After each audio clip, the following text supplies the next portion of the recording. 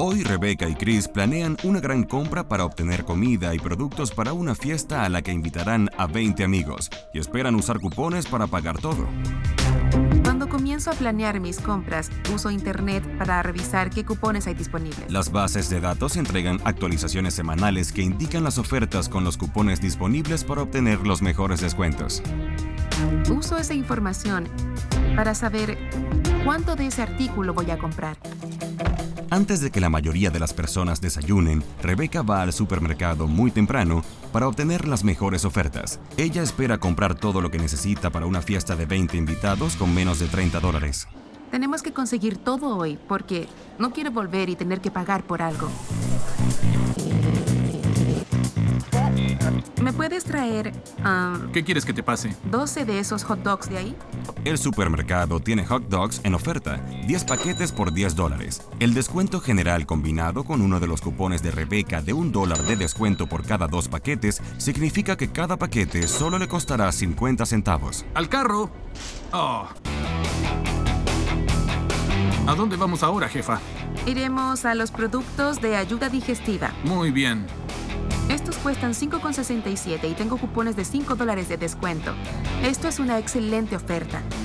Así que necesito por lo menos 35 de ellos. 1, 2, 3, 4, 5, 6. 7, 3, 4, 2, 1. ¡Basta! Voy a golpearte frente a la cámara. Adelante. Muy bien. 35. Uf, si no hubiera podido obtener esta oferta me habría molestado mucho, pero a quien madruga Dios le ayuda. Aunque esta madrugadora ha aprovechado la mayoría de las ofertas, hay algunos artículos que Rebeca esperaba comprar para la fiesta que no tienen los precios que ella necesita. Estos quesos que están aquí eran más convenientes cuando costaban 2,50. Y ahora subieron a 4,38. Ya no es un buen precio. Como sus compras están calculadas hasta el último centavo y cupón usado, Rebeca debe tener cupones de contingencia en caso de que una oferta no sea como ella anticipaba. Reemplazar el cupón que iba a usar con uno nuevo. Y quién sabe, puede terminar siendo un mejor descuento. Aquí dice que si compro dos paquetes de 425 gramos de esta mantequilla, obtengo un cupón que se imprime en la caja por un dólar menos en mi próxima compra. Por eso llevaré estas y usaré los cupones en mi próxima transacción. Parece que tenemos todo lo que necesitamos, listos para irnos.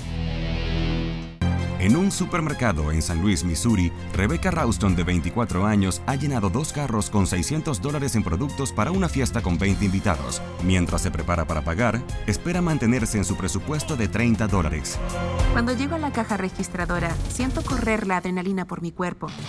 En el supermercado hay una oferta especial un día a la semana que garantiza 10 dólares de descuento por cada 50 dólares en compras. Para aprovecharlo al máximo, Rebecca ha creado una lista detallada en su teléfono celular que separa sus compras en 7 transacciones individuales para así obtener el descuento de 10 dólares por cada 50 dólares que gaste. Debo concentrarme mucho ahora. Siempre me pongo un poco nerviosa y ansiosa durante esta parte del proceso. 59 con 15. ¿Trajo cupones Por hoy? supuesto. Su total es 5 con 15. De acuerdo. En sus primeras dos transacciones, Rebecca gasta menos de 10 dólares por más de 140 dólares en mercancía. Steph, dame una orden de suspensión. Pero luego descubre que hay una regla que limita el descuento de 10 dólares por cada 50 dólares a solo una vez por persona. Ambos hicieron una transacción. ¿Qué hacemos ahora? Para el descuento debe pagar cada persona por separado, Sí. pero pueden llamar a una tercera persona Bien, para ¿a un hacer otra transacción.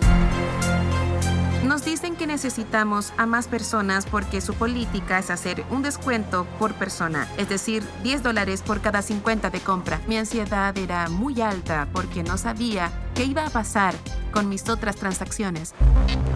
¿A cuánto? La única manera en que Chris y Rebecca podrán completar sus transacciones es encontrando a cinco amigos que vengan y los ayuden.